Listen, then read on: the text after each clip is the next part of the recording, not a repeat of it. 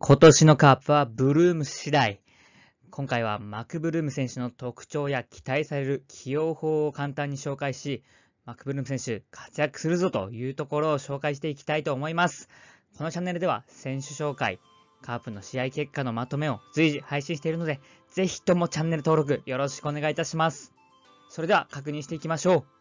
まず基本情報から確認していきましょう。生年月日は92年の4月9日ということで30歳の選手になります。で、身長と体重190センチ、99キロと、やっぱ助っ人だけあってがたいいですね。え体格いいので、ホームランやっぱ期待しちゃいます。え投打なんですけど、ここが非常に、えー、珍しいポイントで、左投げ右打ちの選手になります。え左投げ右打ちの選手、非常に珍しくて、今の日本球界でも多分マックブルーム選手だけというようなことが情報もあるので、非常に珍しいですね。で、メジャー歴ですが、ロイヤルズ時代の2019年に初めてメジャー昇格したということで、昨年2021年はわずか8打席、8打数で2安打という成績に終わってます。通算の成績見てみると、66試合に出場して、打率は2割6分8厘、ホームラン6本、16打点と、ま、そこまで悪いような数字には見えないですね。まあでもメジャーに定着するまでには至らなかったということですが、まあ、6本ホームラン打ってるっていうふうに、まあ、実力もある程度あるんじゃないかなと思います。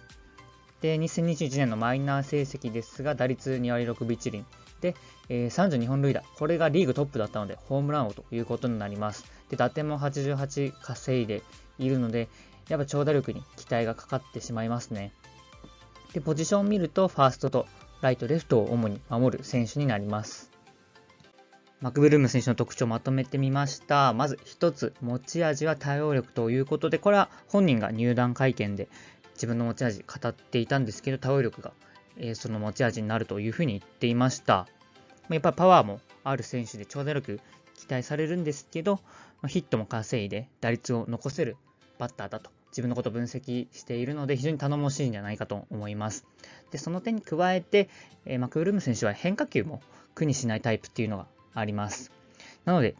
えー、変化球に崩されるっていう助っ人、よくいるんですけど、去年の黒の選手とかもそうですね、変化球の攻めで苦労して得意のストレートも打てなくなるっていう傾向がある助っ人多いんですけど、そういったような、まあ、なかなか活躍できない助っ人のタイプとは違うので、マクブルーム選手はある程度活躍は見込めるんじゃないかなと思ってます。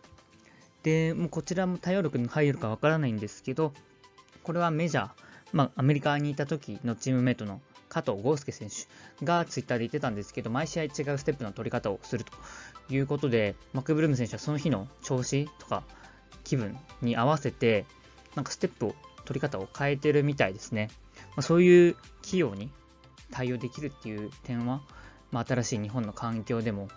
うまく馴染んでいけるんじゃないかなと思うので、結構早い段段階からマクブルーム選手、打ち出してくれるんじゃないかなと個人的に期待しています。続いて広角に打ち分けることができるパワーヒッターということで、まずはやっぱり昨シーズントリプル A のホームラン王ということで、これはやっぱり期待しちゃいますね。今年長打打てる選手カープ少ないので、やっぱカープでもどんどんどんどんホームラン打ってほしいなと思います。で、去年ですかね、バットを折りながらレフトスタンドに運んだっていう試合もあったようで、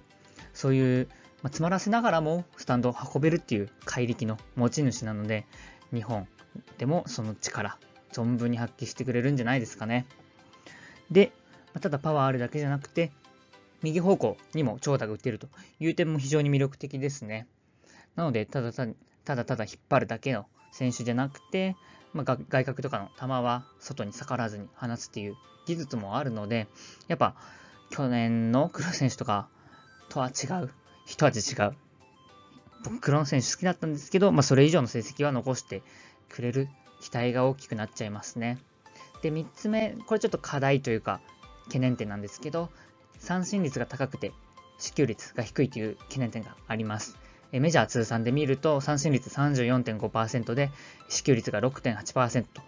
いうふうに結構三振が多くて、フォアボールなかなか選べないっていう選手になってます。まあ、メジャーでの出場少ないので、このサンプル数的に、この数字がま信頼できるものかどうかわからないんですけど、ちょっとここは一つ懸念点だなと思います。ただ、3A では三振率22.9%までぐっと下がっているので、まあ、日本で言うと多分、よく言われるのがメジャーと 3A の間が日本のレベルっていうので、まあ、メジャーほどの三振率にはならないんじゃないかなと思います。で、参考までに今日本で活躍している外国人選手見ると、オースティン選手は三振率25.3%と結構高いんですけど、え同時に支給率も13.7%と高くなってます。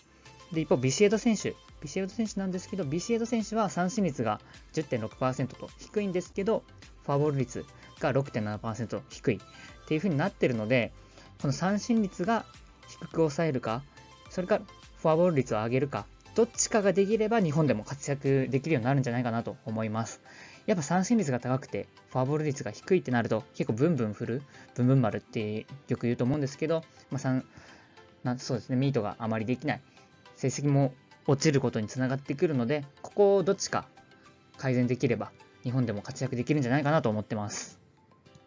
そんなマクブルーム選手のカープでの起用法と期待ですが、打順はまずもう4番を任せるしかないかなと思います。やっぱホームラン打ってるバッターが今打線にいないのでね、マクブルーム選手以外の選択肢ないんじゃないかなと思ってます。最低でも20本はホームラン打ってほしいなと思いますね。まあ、よく言えば30本、30本いって、まあ少しでも聖夜選手の穴を小さくしてくれたらなと願ってます。で、ホームランもですけど、もちろん打点も稼いでほしいなと思ってます。本人も入団会見で100打点目標にするって言ってたので、本当そこの100打点というのを目標にして、えー、打ってほしいなと思います。やっぱ今のカープは得点力不足ということで、打線稼げるというか、まあ、長打力がなくて、打点稼げる人もいないっていうのがあるので、そこの弱点を補ってくれる、そういった役割期待しちゃいますね。で守備ですが、やっぱファーストがメインかなとは思いますが、外野起用も全然あり得るかなと考えられます。これはもう坂倉選手のサード守備次第かなと思いますね。坂倉選手のサードが順調に行くんならサード坂倉、ファーストマクブルームでいけるんですけど、これが無理だったら坂倉選手ファーストで使うっていうこともあると思うので、坂倉選手をファーストで使ってマクブルームマクブルーム選手を外野で使うっていうことにもなると思います。で、松山選手もいるので、松山選手をファーストで使うか、外野で使うか、それによってもマクブルーム選手の起用が変わってくるんじゃないかなと思います。ちょっとまだね、守備どんなもんか見れてないのでわからないんですけど、まあ、身長も190センチ高いので、ファーストとしては的が大きくて、非常に投げやすいんじゃないかなと思います。で、松山選手そこまで大きくないので、そこを組み合わせ考えるなら、まあ、ファーストマックブルーム選手で外野、まあ、レフト、松山選手っていうのがいいんじゃないかなと、個人的には思いますね。で、最後、マクブルーム選手が活躍できなければ、できなければ絶望的ということで、もう今年はマクブルーム選手が打たなければ、カープ結構厳しいんじゃないかなと思います。結構オープン戦でも得点苦しんでいるのでわかると思うんですけど、まあもうホームランも出ないし、長打も出ないということなので、もうマクブルーム選手がね、それをやってくれないと、このままシーズン入ってしまうことになるので、到底戦い抜くことできないんじゃないかなと思います。なのでもう上にも書いてあるように最低でも20分はホームラン打って打線も稼いでくれるっていう仕事をしてくれないとちょっと今年のカープ厳しいかなと思います。去年のクローン選手の場合はね、ちょっとあんまり活躍できなかったんですけど、去年は聖夜選手がいたのでなんとかなりました。でも今年いないので、もうマクムルーム選手が活躍できなかったら終わりといったような編成になってますね。ちょっとここもう一人助っ人取っていいと思うんですけど、まあ、セヤ選手の移籍が決まってお金も入るので、全然シーズン中獲得っていうのもあると思うんですけど、まあ、とりあえずはマック・ブルーム選手が活躍してくれるということを願ってます。で、本人はね、ブルームと呼んでほしいと言ってるので、もう、レッツゴー、レッツゴー、ブルームーと、球場で早く歌いたいですね。最後までご視聴いただきありがとうございました。今年はマック・ブルーム選手の活躍に大注目です。今後も選手紹介や試合解説を行っていく予定なので、ぜひともチャンネル登録よろしくお願いいたします。それでは、カープの活躍に乗って、ガツガツガツカープ頑張れ